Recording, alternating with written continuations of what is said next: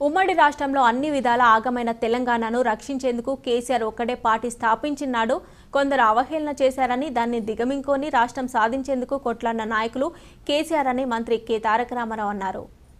సిరిసిల్ల పద్మానాయక్ కళ్యాణ మండపంలో తెరాస సభ్యత్వ నమోదు కార్యక్రమాన్ని కేటీఆర్ ప్రారంభించారు. ఈ సందర్భంగా మాట్లాడుతూ తెలంగాణ అంటే అప్పుడు కేంద్ర రాష్ట్రంలో ఉన్న ప్రభుత్వాలు నాయకులు ఎద్దేవా చేస్తూ కించపరిచే విధంగా మాట్లాడారని అన్నారు. అయినా రాష్ట్రం కోసం వేణు తిరగకుండా సుదీర్ఘ పోరాట ఫలితంగా రాష్ట్రాన్ని కోట్లాది సాధించుకున్నామన్నారు. స్వరాష్ట్రంలో అందరికీ అన్ని విధాలా ప్రభుత్వం తోడ్పాటు అందిస్తున్నామన్నారు. నీళ్ళు నిధులు కొళ్ళగొట్టి తెలంగాణను ఎండబెట్టారని రాష్ట్రం సాధించుకున్న తర్వాత మనకున్న నిధులతో బంగారు భవిష్యత్తు నిర్మించుకున్నామని కోటిన్నర ఎకరాలకు నీళ్ళు అందించుకునే ప్రయత్నం చేస్తున్నామన్నారు.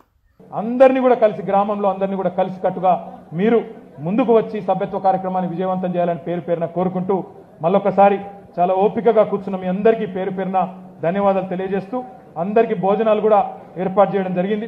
దయచేసి భోజనం చేసే ఇక్కడి నుంచి కదలాలని చెప్పి కూడా మిత్రులందరినీ కూడా కోరుకుంటూ జై తెలంగాణ! జై తెలంగాణ! కేసీఆర్ గారి నాయకత్వం!